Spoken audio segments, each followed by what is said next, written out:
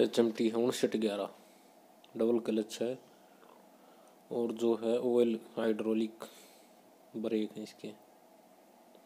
सोलह नौ अट्ठाईस के टायर हैं। और टायर की बात करो तो चालीस परसेंट के लगभग टायर हैं इसके। ट्रैक्टर कंडीशन ओके है बिल्कुल। ये भी कहो स्पीड दो हरियाणा में एक लाख साठ हज़ार रुपये इसका प्राइस मांग रखा है।